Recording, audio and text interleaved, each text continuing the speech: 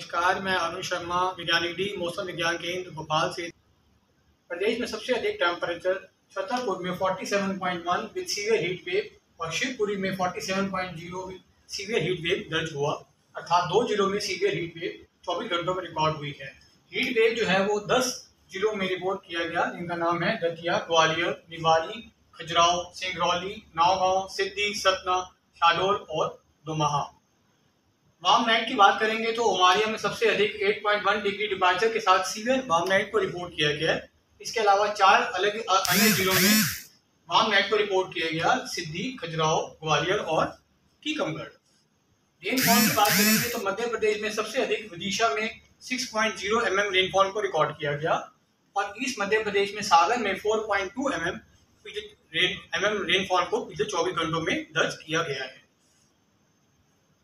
दक्षिण पश्चिम मानसून की बात करेंगे तो दो या तीन दिनों में आने वाले दक्षिण पश्चिम मानसून के केरल, लक्षद्वीप, कर्नाटका रायलसीमा के कुछ पार्ट कुछ पार्ट तमिलनाडु में और सेंट्रल अरेबियन सी में होता हुआ आगे बढ़ने की संभावना बनी हुई है।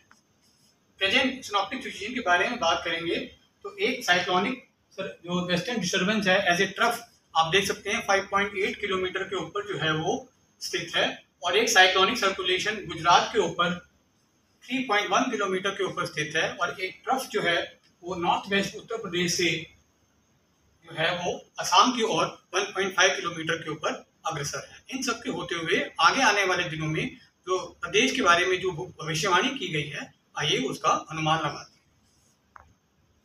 आज के मौसम के बारे में चर्चा करेंगे तो जो ग्रीन कलर में आप ज़िले देख रहे हैं, उसके अंदर रेनफॉल कुछ कुछ जिलों में कुछ कुछ स्थानों में होने की जो है वो संभावना जताई जा रही है। इसके अलावा जो येलो जो आप ऑरेंज कलर के जो यहाँ पे हम देख रहे हैं, जो ज़िले हैं, उसके अंदर थंडरस्टॉर्म लाइटिंग और gusty wind with 50 to 60 kilometre होने की आशंका बनी हुई है। साथ ही इन जिलों में हीट वेव जो है, वो 45 डिग्री टेम्परेचर के ऊपर जाने की संभावना आज है। उसके अलावा जो आप येलो कलर के जो ज़िले देख रहे हैं यहाँ पे, उसके अंदर जो है, वो हीट वेव जो है, वो 45 डिग्री से नीचे रहने का टेम्परेचर का आज उम्मीद है और thunderstorm with lighting gusty wind with 40 to 50 kilometre होने की संभावना बनी हुई है। इसके अलावा सिद्धि उमारिया दमोहा छतरपुर और ग्वालियर के अंदर आज वाम नाइट होने का भी अंदेशा है।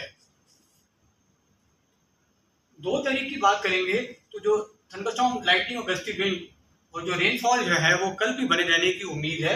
इसके अंदर जैसे कि आप देख रहे हैं, जो लास्ट ऊपर के जो भिंड एंड मुरैना और जो और जो नीचे के राज्य हैं, जिनको ऑरेंज कलर में दिया गया है जिलों में, वहाँ पे थंडरस्टॉर्म लाइटिंग और गस्ती विंड विद 40 टू 50 किलोमीटर होने की आशंका जताई जा रही है।